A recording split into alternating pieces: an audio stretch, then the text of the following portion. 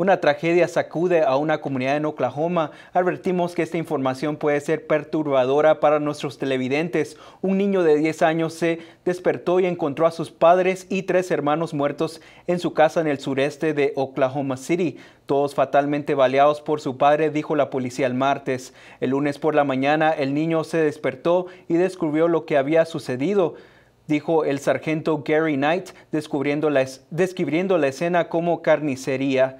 La policía cree que Jonathan Candy, de 42 años, mató a su esposa Lindsay Candy, de 39 años, y a sus hijos Dylan Candy, de 18 años, Ethan Candy, de 14 años, y Lucas Candy, de 12 años, dijo Knight.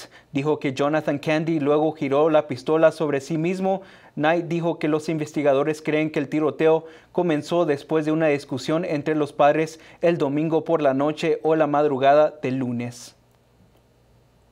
Las autoridades temen que nunca sabrán el verdadero motivo de este horrífico hecho o lo que motivó a este padre a hacer este brutal hecho dejando con vida e intacto al hijo más pequeño de la familia, una lamentable tragedia.